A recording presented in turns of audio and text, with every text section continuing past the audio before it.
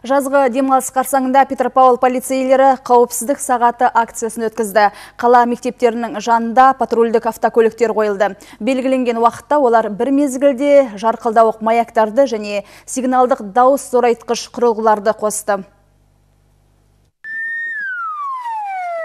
Төрт айда солтүстік Қазақстан облысының жолдарында 64 жол көлігі оқиғасы тіркелді. Онда 14 адам қаза тауып, 92 адам жарақат алды. Балалардың қатысуымен 4 жол көлік оқиғасы тіркелді. Онда 5 кәмелетке толмаған бала зардап шекті. Жол көлік оқиғаларын алдын алу мақсатында солтүстік Қазақстан облыстық полиция департаменті жергілікті полиция қызметі басқармасы алдын алу жұмыстарын жандандырды.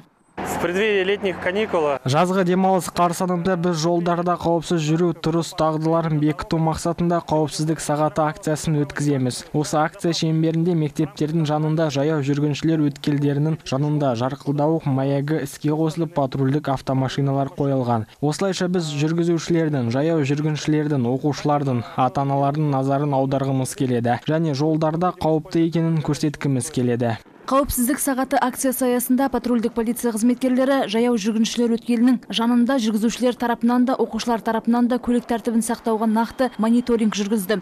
Қорытынды көрсеткендей патрульдік көліктердің қатысуымен жүргізушілер де жаяу жүргіншілер де жол ережелерін екі есе мұқият сақтауға тырысады. Седьмой класс. Вам преподают, да, занятия, да, как переходить улицу правильно? Да, иногда оставляют после уроков и показывают прямо на презентациях. А у вас это, велосипед есть, самокат? Нет, я пешком иду. Встал, э, смотришь налево-направо, машина остановилась, и только тогда идешь вот демалыс кезінде полиция қызметкерлері ата аналар мен мұғалімдерден балалар мен қосымша әңгімелер өткізуді сұрайды аяулым жолмұқанова полиция департаменті баспасөз қызметінің көмегімен әзірленді